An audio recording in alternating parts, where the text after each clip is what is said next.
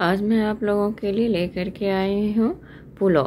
पुलाव जो खाने में जितना टेस्टी है, बनाने में उतना ही आसान है और साथ में एकदम सिंपल टेस्टी रायता।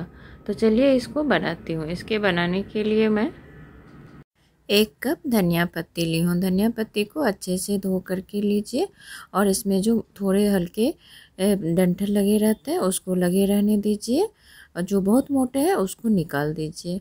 और आधा कप पुदीना के पत्ते सभी को अच्छे से धो करके मैं ले रही हूँ यहाँ पर।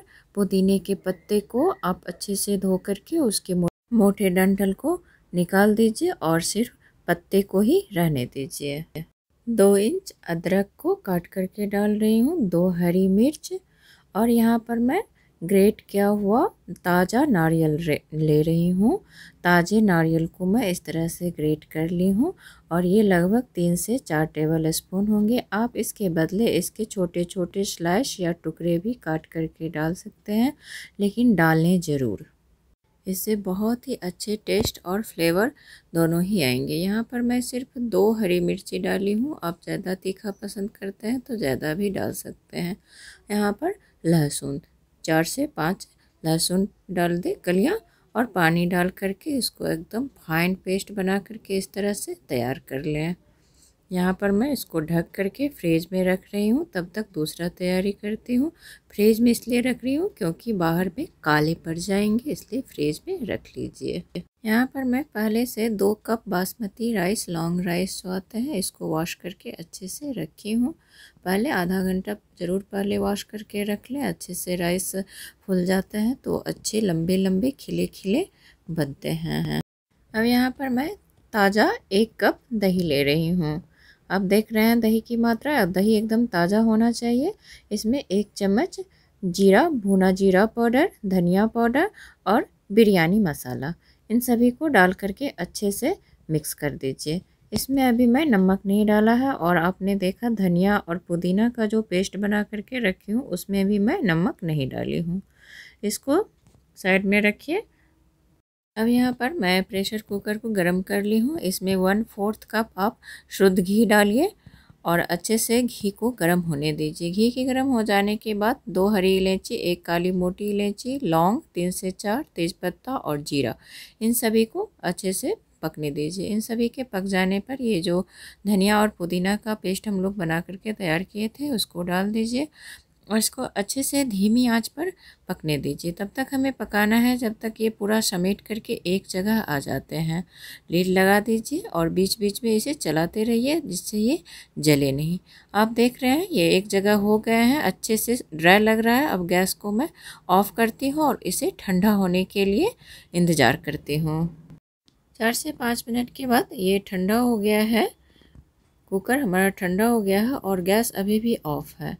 अब इसमें हमने जो दही का पेस्ट बना करके तैयार किए हैं, दही में सारे मसाले मिक्स करके इसको डालते हैं और अच्छी तरह से इस धनिया पुदीना का जो मसाला है, इसमें मिक्स कर देते हैं। अच्छे से मिक्स कर देने के बाद हम लोग गैस को ऑन करते हैं ताकि हमारा दही फटे नहीं। अगर गर्म में हम लोग दही डालेंगे तो दही फट जाएँगे। इसको लीड लगा करके धीमी आँच पर पकने दीजिए। अच्छे से देख रहे हैं, पक चुके हैं। हमारा घी ऊपर आ गया है। ये दही मसाला भी अच्छे से पक गए हैं। अब इसमें राइस को डाल करके अच्छे से इसको भूनना है हमें। और हमेशा आँच को धीमी रखनी है, जिससे कुछ भी हमारा जले नहीं।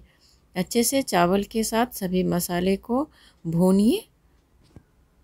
धीमी आँच पर चार से पाँच मिनट में इस तरह से ये चावल मसाले के साथ अच्छे से सेट हो जाते हैं और ड्राई सा होने लगता है, तब इसमें पानी डाल रही हूँ।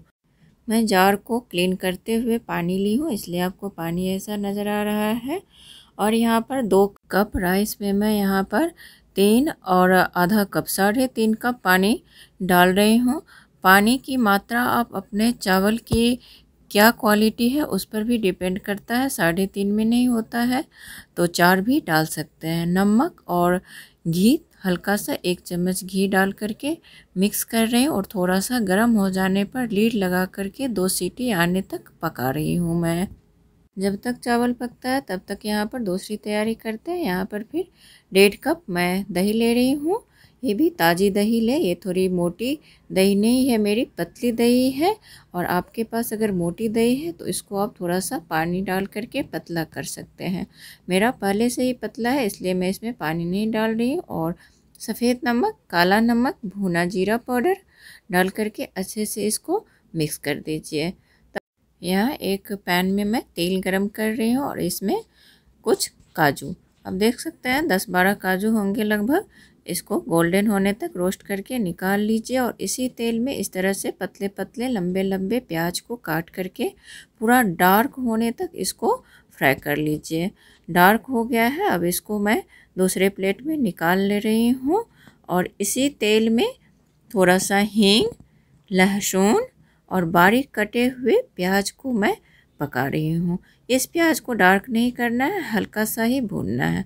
बस हो गया, ये प्याज हमारा रेडी है। अब इस दही में डाल दीजिए, अच्छे से मिक्स कीजिए और इसी तेल में थोड़ा सा जीरा।